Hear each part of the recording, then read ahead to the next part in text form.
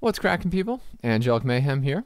I want to welcome you to my second video on SimCity 5, or uh, SimCity 2013 if you prefer. Today I'm going to talk about the graphics setting in the game, which sadly isn't being talked about anywhere on the web. So I've tackled that problem by clawing and fighting my way onto one of the servers, putting together a little city, and then taking a bunch of screenshots. And the way I'm going to work this is I'm going to show you this city from two different angles uh, the wide view that you would see when you're building and zoning and such, and the street view. To start with, I want to show you the difference between all the graphics settings turned on and all the graphics settings turned off. This is everything turned on, and this is everything turned off. As you can see, there is a dramatic difference. I'm going to show you what each option does one by one. To start, we're going to go to the wide shot, since this is the camera most of us are using. In this shot, you can see the Washington Monument, the Sears Tower, that's right, the Sears Tower. You can ask anyone from Chicago to back me up. Uh, a stadium, and some RCI. Here you can see what this shot looks like with the default settings.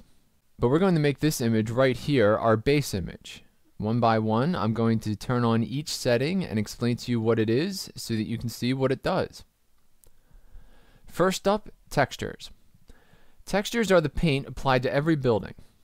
When we jack the textures up to high, what you should notice is the terrain becomes much richer and darker, the windows on the buildings become more prominent and defined, and overall the buildings are softer and more pleasing. The downfall of high textures is that they take up a lot of computing time. So for older computers, you may start out fine, but as your city gets bigger, the sheer number of buildings will start to slow down the game. This is usually caused by the textures.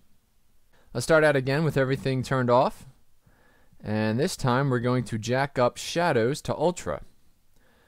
Shadows are obviously the shadows cast by buildings and terrain. It's 9 a.m. in this shot, so the shadows are dramatic and the sun is behind us. You should notice the mountains in the background cast shadows into their valley. The Washington Monument casts a major shadow down the street. The telephone poles cast shadows, and even the cars.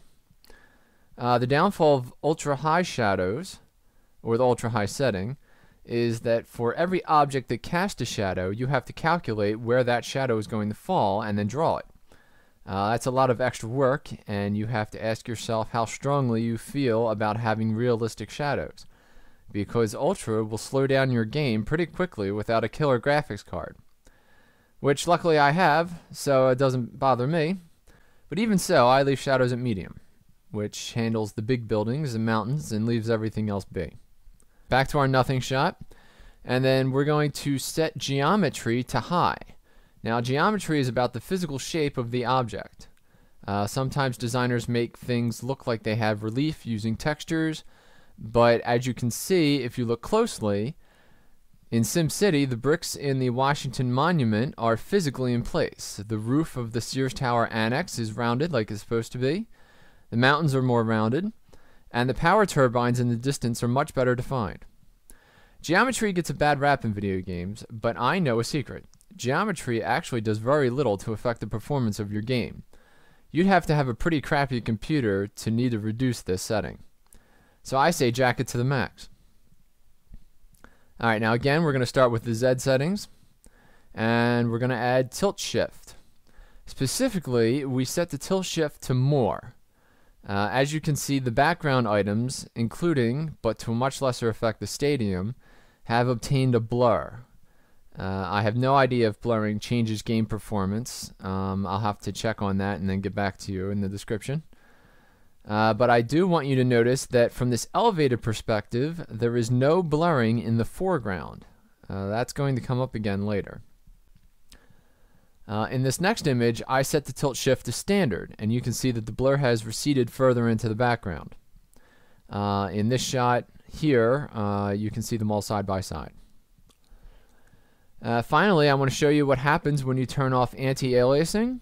Anti-aliasing smooths out edges and blends them in with their background. In this shot, anti-aliasing is on. But in this shot, I've turned it off. And you can see a stark difference, uh, especially if you look at the windows of the Sears Tower, uh, the solar reflectors in the background, and the streetcar tracks and road lines. In fact, while anti-aliasing does affect everything you see, it only really matters the further away you get. Things just appear less crisp and realistic.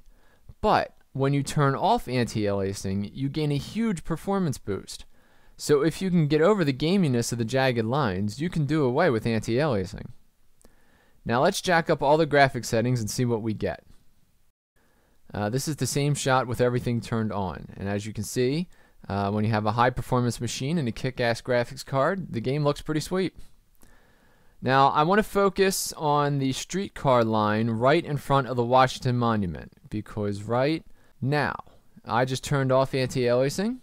As you can see, there's practically no difference to the overall game, and you probably wouldn't have noticed the road lines or the stadium windows if I didn't point them out. Same shot, setting tilt shift to less. Now we're going to take a trip down the street level to see how the graphic settings have an impact on your sims. Uh, behold the following traffic jam. Lowest settings possible. And now we jack it up to high. As you can see, there is a huge difference. Shadows on the cars because of the ultra setting. The cars have working tail lights. The gas station sign has a logo. The solar arrays have depth and texture. And you could theoretically count the bricks on the firehouse.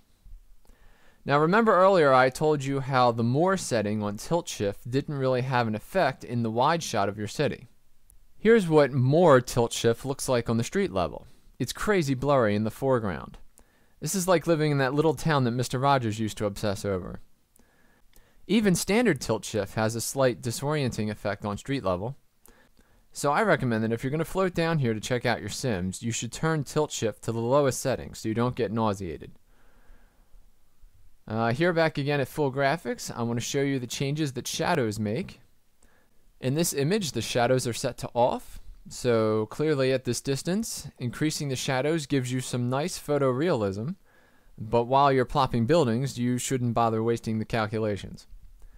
Uh, our standard shot and our anti-aliasing turned off. As you can see, the image actually looks a little better. And finally, one last time, here's our standard shot. And our textures drop to low. Uh, I see very little difference between these two shots, except for a little extra blurriness, which we certainly don't need because at this point the tilt shift is giving me vertigo. I think it's safe to say that lighting is important to the overall look of the game, and if your graphics card can handle it, push it to the limit. Uh, I'm not impressed with textures at all. I leave mine set at low. I only use ultra shadows if I need to take a photo for my blog. Uh, during the game, I set it to medium just for a little bit of ambiance. Geometry is a must. Uh, jack it to high. It's not going to affect you at all. Animation detail I didn't really cover because I'm using screenshots and uh, that's more of a video thing. But basically, it defines how much crap is moving around your board at any given time. Uh, I turn it down because I rarely zoom into street level to watch all that stuff. Tilt shift, I never use more because it's too much for me. Uh, standard is good for wide angle, and less is best when you're down on the street.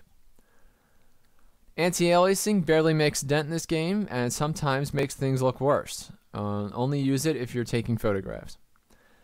And finally, this last option, which we didn't really cover, is uh, the filters. Filters change the overall color scheme of the game. It's up to you to if you enjoy that sort of thing. Uh, you can fool around with those. I haven't been able to find one that I can stand for more than five minutes, so I just use the none. If you're really interested, I have screenshots on the blog of each filter and what it does, and you can check them out there. So to wrap it all up, customize your graphics based on the ability of your graphics card, your visual preferences, and change them when you go from wide planning down to the street. Thus endeth the second installment of my SimCity Versity video blog. You can find the link to my other articles in the description below. Give me a thumbs up or subscribe if you like this video, and I'll see you next time.